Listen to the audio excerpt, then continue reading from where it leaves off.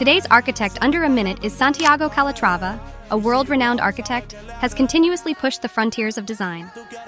Dubai Creek Tower, located in Dubai Creek Harbor, is scheduled to be the highest structure in the world, taller than the Burj Khalifa.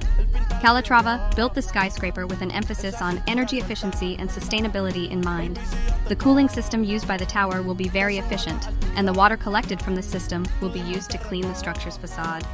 Beautiful landscaping and plants will promote sun protection.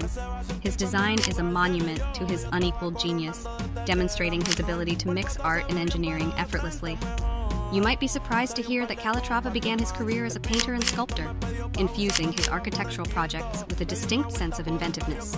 Prepare to be captivated as we explore Calatrava's world of architectural wonders in Part 2.